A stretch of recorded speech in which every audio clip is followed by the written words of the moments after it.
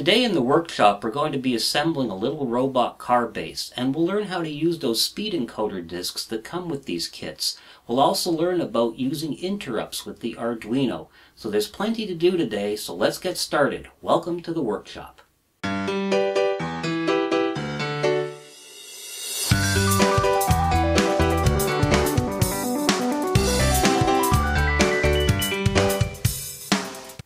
Hello and welcome to the workshop. Today we're going to be working with a small robot car base. Now if you've been into robotics for any period of time, I'm sure you've seen these things advertised on eBay and Amazon. They're very inexpensive little bases that are available in both two-wheel and four-wheel configuration and they're really great to get started with robotics with. Now I've got two of these bases over here to show you. First of all this one over here. This kit cost me about $15 and it comes with everything. The wheels, the base itself, a battery holder, the motors, a caster, all the different parts. And this one even threw in a little screwdriver, which I thought was pretty cute. Another one that I got uh, for even less money, I picked this up at one of my local electronics stores for all of $12.98. Uh, this one here has all the parts the other one had. It even has a mount for a servo motor and uh, and a sensor, so that it's got the uh, the pan and tilt mechanism uh, is included with this as well too. So amazing values for the money. One part that's included with both of them that nobody seems to tell you what to do with, however, is this. And this is a little sensor that you place on the wheel in order to measure the rotation of the wheel. You can measure the speed, and by doing that you can measure distance, the amount the wheel is turned, and get a lot of useful information. But as I said, there aren't very many instructions for using it. Well, I intend to change that today. So what we're going to do is put together a robot car base. The reason I've got two of them here is that there's two different styles of motor mount. So I want to show you how the motor goes onto that. And then we're going to add a few extra components onto that so that we can experiment with this speed sensor and I can show you how it actually works. Now the components we're going to add are as follows. We're going to add an Arduino Uno and that's going to be the microcontroller that's the brains of the projects. An L L298N motor driver, and we've seen this, it's a dual H-bridge controller, and it's going to, of course, drive the two DC motors. And this device here, which is an optical source sensor, which is meant to be used with the little wheel that I just showed you in order to measure rotation. So there's a lot to do today, so let's get ready and build ourselves a little robot car. So let's take a look at some of the parts that you get in one of these little robot car base kits. Now I've got them laid out on the table over here. Now this is the base itself and as you can see the base has been drilled with a number of holes plus it has some cutouts over here and I'll show you what those are for in a few moments. Then we've obviously got some wheels. Uh, these are pretty standard little wheels. It's cute. They actually have sort of rubberized tires on them, so they work well on both carpet, linoleum, whatever you happen to drive over. You can even use them outdoors to some degree a battery holder. Now this uses a four cell battery holder, although I actually tend to replace these with five cell holders, and that's because the motor driver I'm using, the, um, the H-bridge, is going to drop 1.4 volts, and I want to give the full 6 volts to my motors. So by having 7.5 volts instead of 6, I can allow for that voltage drop. But you can use the 4 cell holder that comes with this if you wish. Uh, here's a rear caster that is used to balance the, uh, the base because we've only got two wheels. Um, these two blocks are used as part of the motor mount and that's the difference between this and the other kit. The other kit uses plexiglass for this and I'll show you how both of them work. Uh, we've obviously got all the nuts and bolts that we need. These are the sensor discs that I was talking about earlier. These will be used to sense the motor speed and I'll show you how we can wire for those. Speaking of wires, these guys were nice enough to give me uh, some wires to solder to my motor. Not all the kits come with these, but this one does. And of course the motors themselves. These are little 6 volt motors that actually have quite a bit of torque. So now that we've seen all of the parts, the next thing we want to do is plan out how we're going to lay our components onto our robot car base. Now, when you're planning out the design of your robot car, there's a number of things you need to take into consideration. After all, you've only got a small area on the base in which to place your components. There are things that obviously you can't move, such as the motors and the wheels and the rear caster. You also need to consider balance. You can't place all of your components on one side of the robot because it might tilt over. But if you get creative, you can place quite a few parts onto one of these robot bases. I've got an example over here to show you. Now this is a experimenter's robot that I've been working on here in the workshop and I'll be showing you how to build something similar to this in a future video and as you can see it's got quite a few components including components on the underneath of it and that's actually one of the keys in getting all of the components onto the robot. By doing that, you can place quite a few parts onto one of these robot designs and have a fairly stable design that isn't going to tilt over. So now that you've seen the extreme, let's just see what we can do with the robot base that we have right now. Now on our robot base, I've right now mounted one of the motors just to illustrate where it goes. I've left the brown paper on the base intentionally because I can use that to mark off where I'm going to drill any additional mounting holes. So on our base, we're going to end up with another motor over here and a caster. And I'm going to place my motor driver on the bottom over here as well. I'm going to place it up here. I know that there's going to be enough clearance with the wheels in order for the heatsink not to scrape on the ground. And the wires from the motor driver can go through this hole so I can pass them through to the Arduino. Another thing I'm going to mount on the bottom is a small 9 volt battery. And again, I can pass its wires through here. Now this will be used to power the Arduino. It's not the most ideal way of powering the Arduino, but again, for our simple robot, it'll certainly suffice. So now we're going to flip it over and see what we can place on this side of the robot. Now, I need my speed sensors. The wheels, which will go over here, are what I'm going to be sensing. And I've got two different styles of these sensors here to show you. Now, these just snap in into these little openings over here, or you can place them going the other direction, whatever makes you happy. Once you do place these in though, you're going to want to actually mount them permanently. Now I can't put a hole over here because it's going to go underneath the motor, but I can certainly put one over here. So I'll make a mark on my cardboard, and that way I know that I need to drill a hole over here. Now the other components I'm going to use. This is the front of my robot. This is the rear.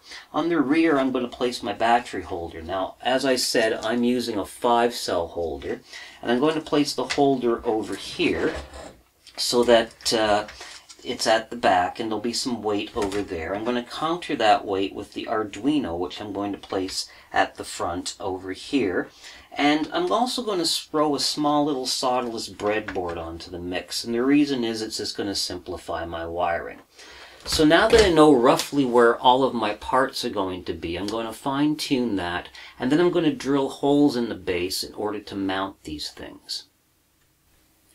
Once I determined the final position of my components, I made marks on the paper and took everything over to my drill press. I mounted the acrylic base onto a piece of wood to avoid cracking it while I was drilling it. Of course, you could use a handheld drill and it would work just fine. When everything was drilled, I removed the paper to leave a clear acrylic base. The next step was to install the rear caster using the four mounting screws provided by the kit. On the opposite side of the caster, I installed my battery holder. Next I put spacers in for the L298N and the Arduino. After that I soldered up the motors. I then mounted the motors on the base. On this particular base this requires two aluminum blocks which are provided with the kit. The next step was to put the encoder discs onto the motor shaft and to put the sensors onto the opposite side of the base. Once I aligned everything correctly, I used a couple of dabs of hot glue to fasten the encoders in place. I decided it would be a good idea to test the motors with my 6 volt battery just to make sure everything was working and that the encoder discs weren't binding on the sensors. The next step was to mount the L298N H-bridge controller on the bottom of the base. After that, I mounted the Arduino on the opposing side. I placed a small solderless breadboard on the top of the base beside the battery holder.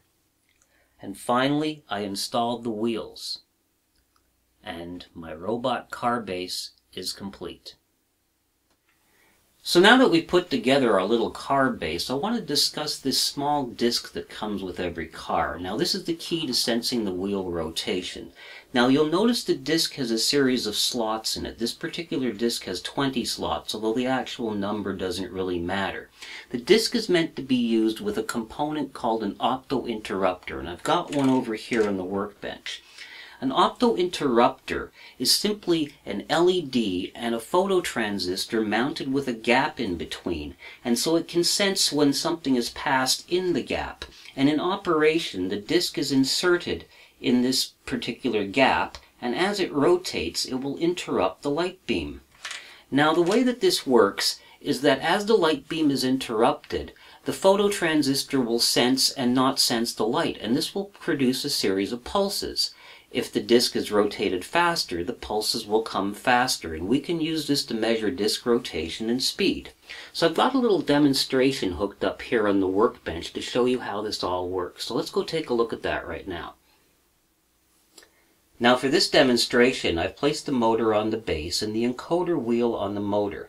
I've placed the sensor in the proper position and I'm powering the sensor with the 5 volts from my workbench power supply. I'm using a 6 volt battery to power the motor. Now in order to demonstrate this I'm going to use a device called a logic probe. If you're not familiar with logic probes, they're very simple devices. What they do is they can measure whether a signal is at a digital 0, a digital 1, or whether it's alternating between it. In other words, whether it's pulsing. So for example, if I touch the ground lead right now, the green light comes on, and I get a sound that indicates that I'm at a digital zero. If I touch the 5 volt lead, I get my red light, and a different sound that indicates that I'm at a digital 1. Now if I touch the output right now, it's sitting at a digital 0. But let's connect the motor now. Now the motor's spinning will measure the output. And as you can see from the flashing yellow light, I'm getting a pulse from the output. This is the pulse that's being produced as the sensor disc spins in between the optical interrupter. And when I remove it, the output right now is high. The output in a stationary position simply depends on where the wheel came to rest. Now the observant ones among you will have noticed that in my last experiment I didn't just use an opto-interrupter. Instead I had a small circuit board that had an opto-interrupter on it and it has another component on it as well. Now here I've got an opto-isolator by itself along with two different boards that have an opto-isolator and some other electronic components. The primary component is something called an LM393 dual comparator chip, and for that reason these sensors are sometimes referred to as LM393 sensors, although that's a bit of a misnomer. Now a comparator is an analog chip. It's actually another form of another analog chip called an operational amplifier or op-amp and it can be used for a number of things, including interfacing analog signals to digital signals. Now, unlike an analog to digital converter, a comparator only outputs one bit. The way a comparator works is as follows. A comparator has two inputs, the actual input signal and a reference voltage. The reference voltage is compared to the input signal. If the input signal is lower than the reference voltage, then the comparator will output a digital zero. If the signal goes higher than the reference voltage, it'll output a digital one. In this fashion, a comparator can be used to clean up a messy analog signal and produce a nice pulse, which is exactly what we want for our speed sensor. Okay, now that we've seen how our sensor works, it's time to hook it up to an Arduino and see how we can read those pulses to determine the rotation rate of our wheel. But before we do this, there's an important computer concept that we need to discuss. Okay, I apologize, that was pretty silly, but it actually does illustrate a point. What happened to me there was I was interrupted, and it's time for us to talk about interrupts. Now, interrupts are a very important programming concept. If you don't know about them, well, it's time to learn about them because they're used in quite a few programs, not just for the Arduino, but for all types of computers. In fact, if you're using a desktop computer to watch this video, and according to my analytics, most of you do, you're using interrupts all the time. You're using them when you move your mouse, you're using them when you type on your keyboard. If you're watching on a phone or a tablet, you're also using interrupts. Every time you swipe your screen or press something on the screen, you're causing an interrupt. Now here is how interrupts work. Now a standard Arduino sketch runs as follows. After setting up a number of items, we go into a loop, and inside the loop we do stuff. And we continue to do stuff until the Arduino is powered down or reset. Now in a case of an interrupt, the program starts the same way. We set up some items and we go into the loop. And we do stuff and continue to do stuff as the loop runs. However, if an interrupt is generated, we branch off and run a special piece of code called an interrupt service routine. Once we're done with that code, we go back into the loop and continue to do stuff until another interrupt is generated.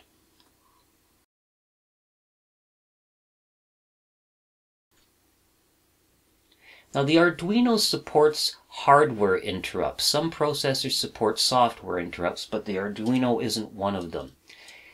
Arduino has two different types of interrupts as well. The internal interrupts are used with the Arduino's internal timers. And external interrupts, which can be called pin change interrupts or external interrupts, are generated from external devices connected to the Arduino. Now the external interrupts we are talking about are generally generated by a change of state, which means when an item goes from a 0 to a 1 or a 1 to a 0.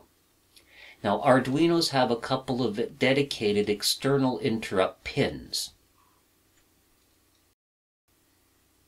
Now as to which pins are dedicated to interrupts depends upon which Arduino model you are using. On the Arduino Uno, pins 2 and 3 are used as interrupt pins.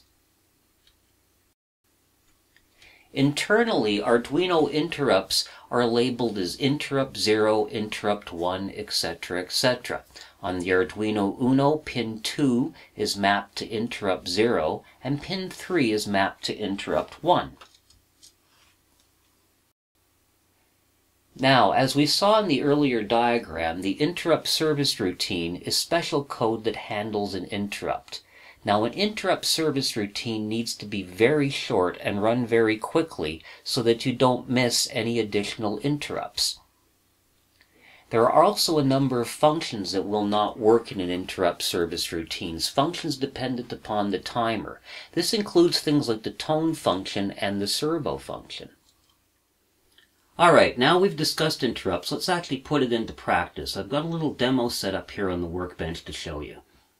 For this demonstration, I've placed two of the motors on the base along with their encoder discs. I've also placed the optical interrupter sensors onto the base as well.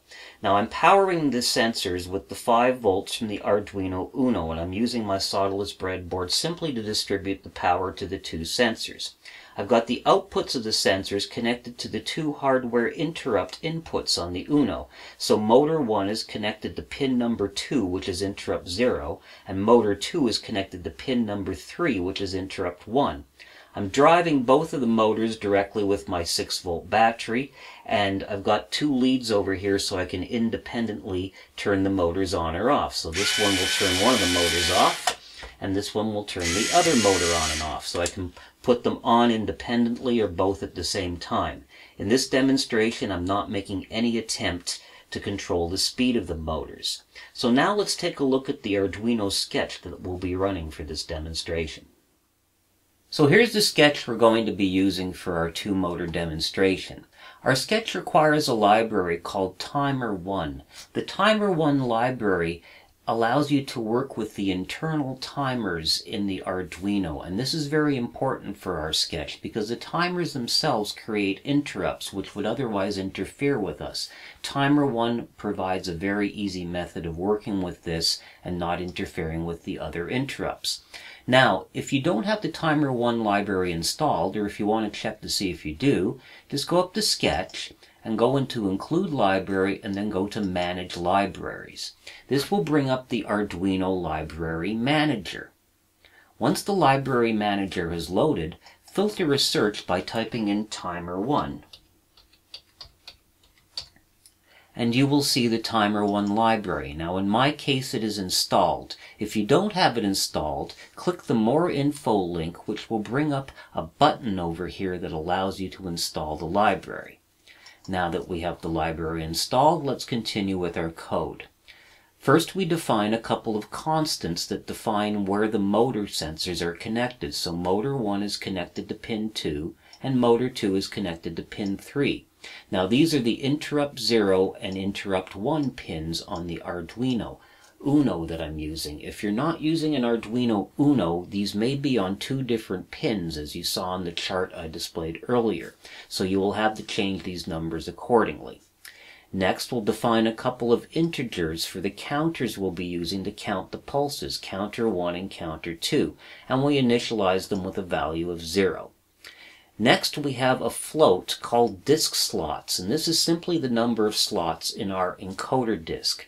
Now, my disk has 20 slots in it, so I give it a value of 20.00. Notice the use of the decimal point because of the float. If you have a different number of slots on your disk, just change this number accordingly. Next, the interrupt service routines. As you recall, an interrupt service routine is the code that is run whenever an interrupt is received. And we actually have three of them because timer 1 also creates interrupts as well. The first interrupt service routine is for motor 1, and we're going to call this ISR count 1. And the only thing in this routine is we simply increment the counter by 1. So every time an interrupt is received, for I for motor 1, we'll increment its counter by 1. The same deal for motor number 2. Every time we get a pulse from the motor, we'll increment counter number 2. Now we go to the interrupt service routine for timer 1. And the first thing we do within it is we stop the timer and detach the interrupt. Now the reason we're doing this is because we're going to use a number of serial print statements within this interrupt service routine. And generally serial print statements aren't a good idea in an interrupt service routine because they take far too long and you could miss interrupts. But by stopping the timer we avoid that problem. And we need the serial prints so we can actually see what we are doing. So we're going to simply print motor speed 1, and then we're going to calculate the value of its rotation. I'll define a float called rotation 1, which is going to be equal to the number of counts that we have had within a second divided by the number of slots on the disk. Now that'll give us the speed and rotations per second, but we want RPM, so we're going to multiply the whole result by 60. Again, notice the use of the decimal points because we're using floats. Then we're going to print that rotation value along with the word RPM after that. And then we are going to reset the counter back to zero. Now for motor number two, we are going to do precisely the same thing.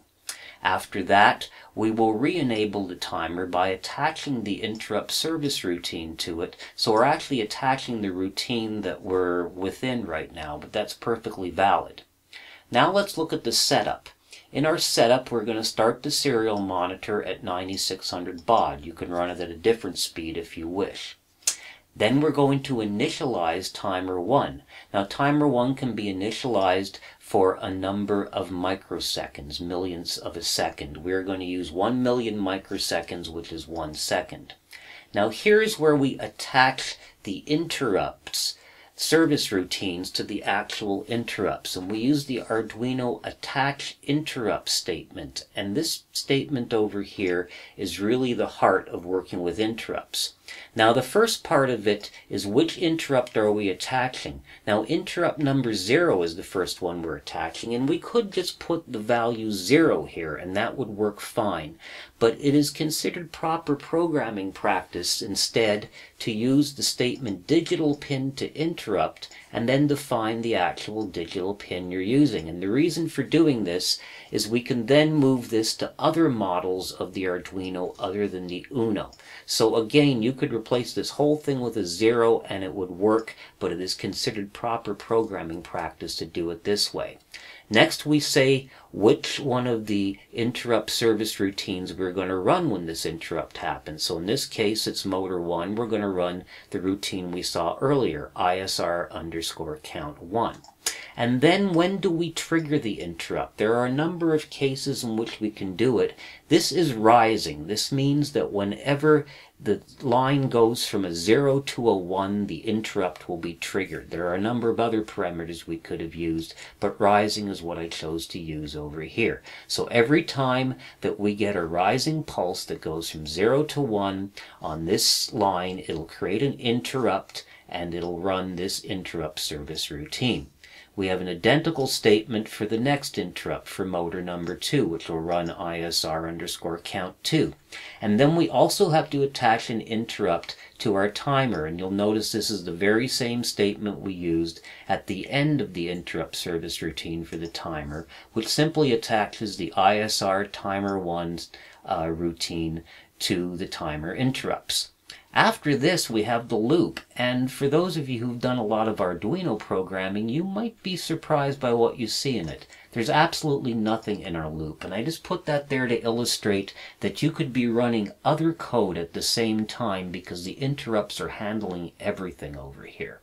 So now that we've seen the code, let's actually put it in action. Alright, let's take a look at our code in action. I've opened my serial monitor and both motors are currently reading 0 RPM, which makes perfect sense since neither motor is turning. I'm going to activate motor number 1 now.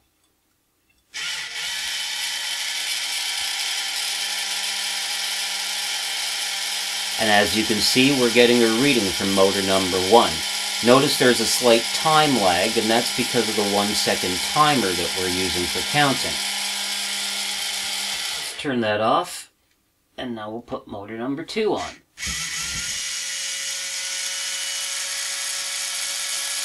And once again, I'm getting a reading from motor number two. So let's try them both.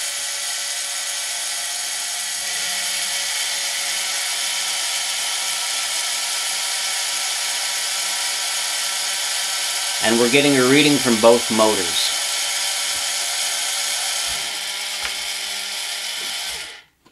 So as you can see, our speed sensors are working perfectly. So now that we've seen how our sensors work, it's almost time to put everything together onto our robot car base. However, in order to take that information and do something practical with it, such as calculating speed and distance, we need to know one other parameter, and that is simply the diameter of the wheel that we are using.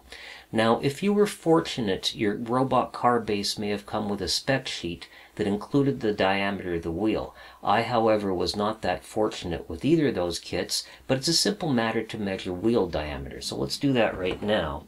I'll just take out my calipers and place them around the wheel. And I get almost 66, roughly 66 millimeters uh, is the diameter of the wheel that I'm using right now. And so knowing that, I can use that to calculate distance. In order to calculate distance, I need the circumference of the wheel. And the wheel circumference will indicate the distance the wheel will travel in one rotation. The circumference is the diameter multiplied by pi, which is roughly 3.14. Once I know the circumference of the wheel, I can also use that to calculate speed because speed is distance divided by time. And I can use centimeters per second or inches per second, which are practical units for a small robot car like this. So now we have everything that we need to know to get our robot car up and running. All that remains really is to wire everything up and to write some code. So before I show you the schematic, I just want to show you a few things I did when I wired up my car just to help you out in wiring yours up. For one thing, I made a lot of use of this ribbon cable. This stuff is very, very useful. It comes in male to male, male to female, and female to female varieties. These are the male to female variety, and they're great for hooking up the sensors and also for hooking up the L298N. You just peel off the number of conductors that you need, and it's a quick way of making connection cables. I also made use of just regular 20 gauge hookup wire, and I've hooked up uh, the power from the Arduino to the little solderless breadboard, and I've used a breadboard basically just to distribute the uh, the 5 volts from the Arduino to the uh, sensors, and also to the uh, L298N.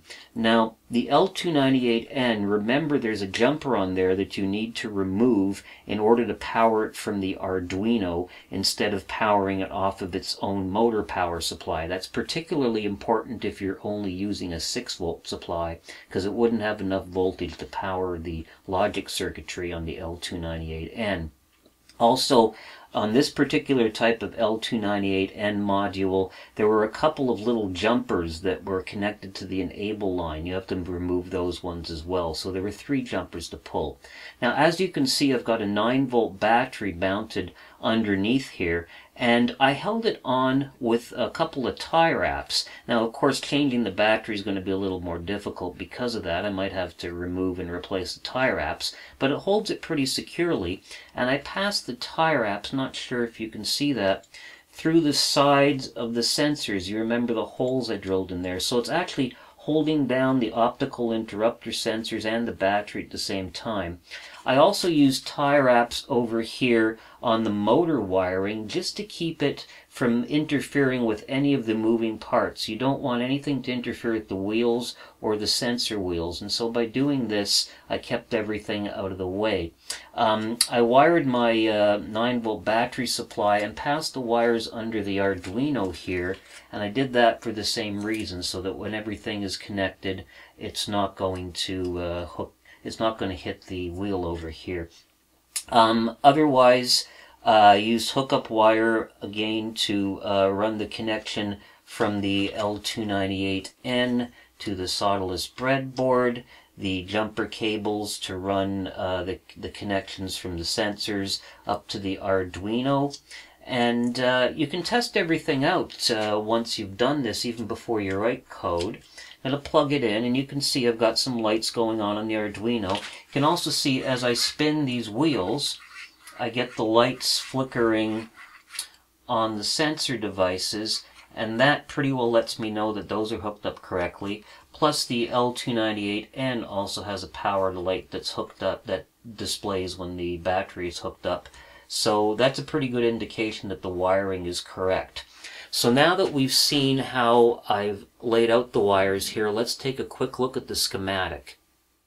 Here are the components we'll be using for our robot. An Arduino Uno, an L298N H-bridge motor driver, two speed sensors, along with the two motors and two batteries. We'll start by connecting the 5 volts and ground from the Arduino Uno to the VCC and ground connections on the two sensors. After that, we'll take the 5 volts and ground from the Arduino Uno and connect them to the L298N 5 volt input. Be sure to remove the jumper on the L298N to allow it to be powered by an external power source. After that, we'll take our battery, which could be 7.5 or 6 volts, and connect it to the L298N. Then we'll connect the 9 volt battery to the Arduino Uno. We'll wire motor A to the connections on the L298N, and then we'll wire motor B to the L298N. We'll take the output of sensor A and connect it to pin 3 of the Arduino Uno. The output of sensor B will then be connected to pin 2 of the Uno. We'll then connect the L298N to the Arduino Uno as follows. We'll connect the enable A from the L298N to pin 10 of the Arduino Uno. Note that your L298N might have a jumper here which needs to be removed. Input 1 from the L298N will connect to pin 9 of the Uno. Input 2 will connect to pin 8. Input 3 will connect to pin 7. Input 4 will connect to pin 6. And finally, the Enable B line from the L298N will connect to pin 5 of the Arduino Uno. Again, your L298N may have a jumper that needs to be removed. And this completes the wiring. So here's the sketch we're going to be using with our robot car. Let's go over it. Now it starts off similar to the last sketch we used. We define two constants for motor A and motor B and we assign them to the pins that our sensors are connected to. So motor A is connected to pin 3 on the Arduino Uno which is interrupt 1 and that's the sensor for the right motor. Motor B is connected to pin number 2 and that is the sensor for interrupt 0, the left motor. After that, we define a constant called step count. It's a float, and it has the number of slots in our disk. Now, I've got 20 slots in my disk, so I define this as 20. If your disk has a different number of slots, you'll need to change this number to match. Similar for the next variable, it's another float called wheel diameter, which of course is the diameter of our wheel. This is in millimeters, and mine is 66.1 millimeters. Again, if you have a different size wheel, just change this number to match. Then we do two integers for the pulse counters as we did before. Counter A, and we initialize it to a value of 0, and counter B, which is also initialized to 0. Now these are both integers, but they have one other statement in front of them called volatile. Now volatile is a statement that we pass to the compiler in the Arduino IDE. And the reason we do this is that if the compiler looks at this code, it may see counter A and counter B are not used again in the code, and in that case it might eliminate these variables to save some space in the code. Now usually this is a good thing, but in the case of this particular code it would cause the code not to work. So by giving it the statement volatile, we tell the compiler these variables will be used, please reserve space for them. After that, we'll define our connections to the motor driver. So the enable A line goes to pin number 10, input 1 to 9, and input 2 to number 8. And that's for motor number A. For motor B, we've got enable B going to pin 5, input number 3 to pin 7, and an input number 4 to pin 6. Again, if you decide to use a different processor or different connections on your UNO, you can change these numbers. Just remember that these two enable lines have to be connected to a pin that's capable of pulse width modulation. Then we do the interrupt service routines, which were identical to the ones that we saw in our last sketch. So we've got ISR count A and ISR count B. And in each one of these interrupt service routines, we simply increment the counter every time that a pulse is received. Now I've got a function that converts centimeters to steps. You can give it the number of centimeters you want the car to travel, and it'll come back with the number of steps that the sensor needs to count to get there. So this function outputs an integer, so it's defined as an integer. Its name is cm to steps, and it takes one input, and it's a float called cm, or centimeters. Now, the way the function works is as follows we define an integer called result. This will be the final result that we're going to pass back when the function is finished. Then we define a float called circumference. The circumference of the wheel, as you'll recall, is the wheel diameter multiplied by pi. We then divide that result by 10 because our wheel diameter is in millimeters and we want our results in centimeters and there are 10 millimeters per centimeter. After that, we define another float, which is the number of centimeters per step. So every step represents how many centimeters, and that's the circumference divided by the step count, which we defined earlier in this case as being 20. Then we'll get the result. Now f underscore result is the floating result. We'll calculate the result by dividing the number of centimeters we've asked for by the cm per step value we've got over here. Now this will return a float. Now we need to get an integer back, so we used what's called a cast statement. So our result is going to equal an integer of f result. Now one note I've put over here is that this is not rounded. Arduino's cast statement does not do any rounding. So if, for example, you get a result of 5.7, the result is going to be 5, not 6. Rounding, unfortunately, is something that the Arduino does not do natively. And although there are ways of doing it, I chose not to do it in this code simply because it will complicate things further. So now we've got our result as an integer. We just return the result, which sends the result back and exits the function.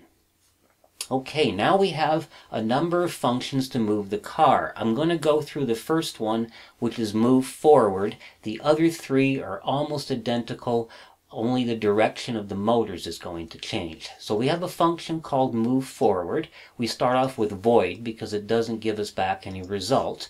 Move forward takes two inputs, the number of steps we want to move forward and the speed of the motor, which is indicated by the variable m speed. They're both integers, and m speed can be equal to 0 to 255. Now in this function, I haven't taken any steps to make sure that we don't pass a value below 0 or above 255. So you could make this function improved by adding code to do that. I just chose not to do it because it would just complicate things for this demonstration. So the first thing we do is we set our counters down to zero. Then we'll set the motors in the direction we want. And this is the only difference between the four functions that I have here, by the way. In this case, both of the motors are being set forward. So we just write the input 1 to high, input 2 to low, input 3 to high, and input 4 to low, which will set both motors going forward. Then after that, we're going to do a while loop, which will run while the motor is running and it'll count the steps. So here, while the steps are less than counter A and the steps are less than counter B, we will run this loop. Now the reason I use both counter A and counter B is because you may have noticed in our earlier demonstration, the motors don't turn at exactly the same speed. So it is possible, especially on a long run, for one motor to achieve the distance while the other motor is still catching up. Just this makes sure the while loop runs while both of them are trying to catch up with the number of steps. So in the while loop, we say if the steps are less than counter A, the value of the number of steps we've asked for, then we'll do an analog write to enable A at the speed we've been asked to do. And if uh, the steps have exceeded that, we'll do an analog write of zero, which will stop the motor. And we do the exact same thing for motor number B. Now, once we're finished, we go and we stop the motors because it's quite possible that this else statement will never be issued. And if we don't do this, the motors will continue to run forever and ever. So again, we do analog writes to both motors to stop them, and then we reset the counter. Now I have a function to move in reverse, which does exactly the same thing, and the only difference is we set the two motors into reverse. Another function to spin everything right. Again, the exact same thing except I set motor A in reverse and motor B to go forward and that will cause the car to spin in a right direction. And then finally spin left, which is the opposite. We'll set motor A forward and motor B reverse. Otherwise, these functions are all identical. The while loop runs identically in the same way.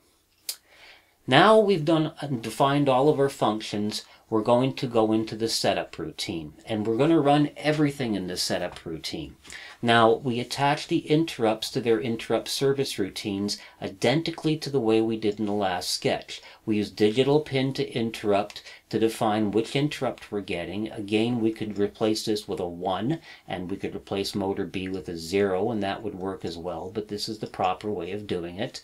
And every time we get an interrupt on the motor A sensor, it's going to run the interrupt service routine called ISR underscore count A, and an interrupt will be triggered on a rising pulse. The exact same thing for motor B, and this is identical to what we did in the last sketch.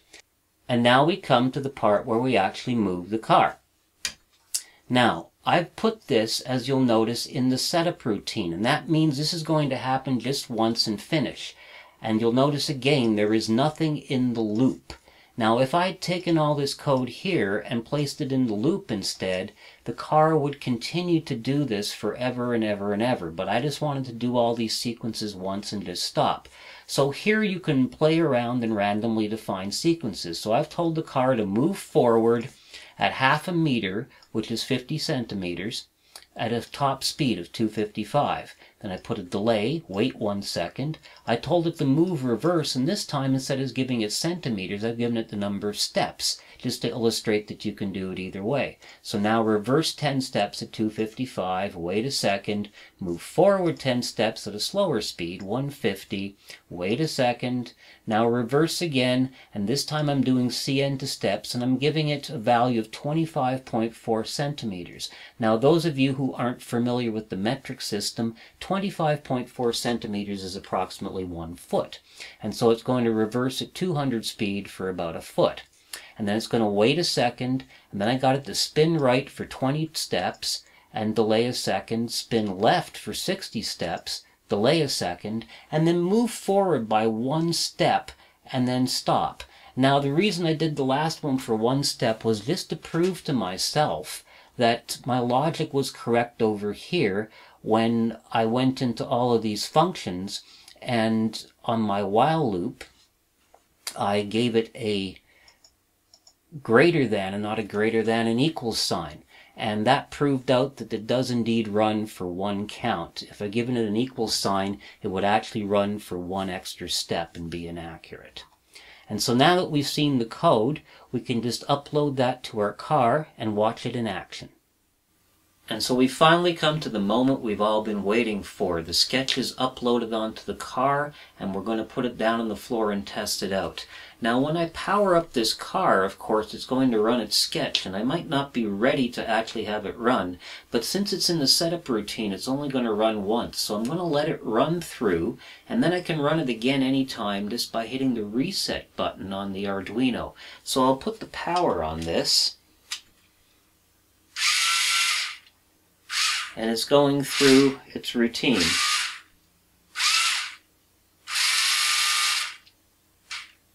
And that last little one was that little one step that we had to do at the end. So now that it's ready, we'll put it down on the floor and hit the reset button and watch it go. Okay, I'm hunched down here on the floor with my car. I'm going to put it on the floor and hit the reset button and let it go. Press reset.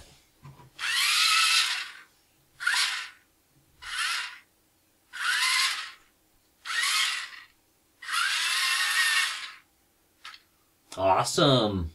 Car seems to work.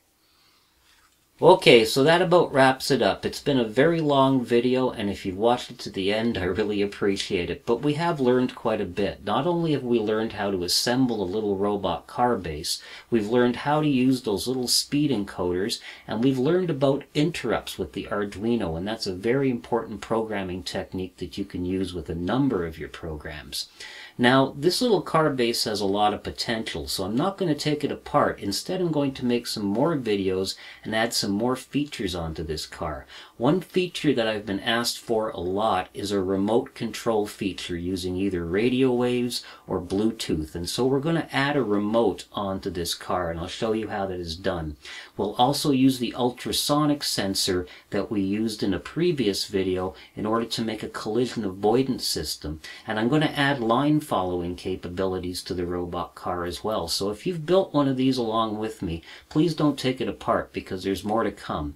Now, the best way to find out about these videos is to subscribe to the channel. So if you haven't done that already, please do that. I'd really appreciate it.